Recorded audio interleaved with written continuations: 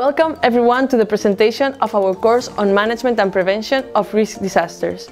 The objective of this course is to form people working in municipalities, schools and leaders to be able to develop emergency plans.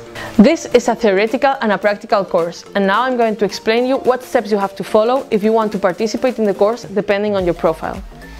If you're working in a municipality, you will have to take part of Module 0, which is the introduction module where you will find some general and key concepts on the topic, and then Module A, where they are going to explain you how you have to develop a strategical plan. If you're working in an educational center, you will have to take part also of the introduction module and then module B, where they are going to explain you how you have to develop this kind of plans in a school, university or other educational centers. And finally, community leaders will have to do also the introduction module and then modules C, D and E, where they will find the explanation on how to develop this type of plans and some emergency drills.